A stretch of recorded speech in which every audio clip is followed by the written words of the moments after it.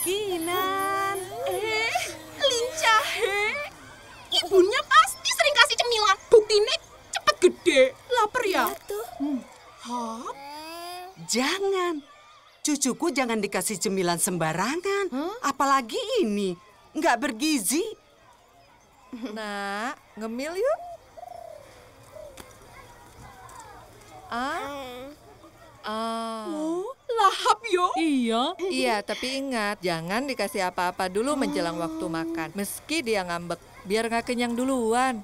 Oh, gitu toh. Baru tahu saya. Gimana sih, Bu? Semo juga tahu. Walah, jadi selama ini aku salah.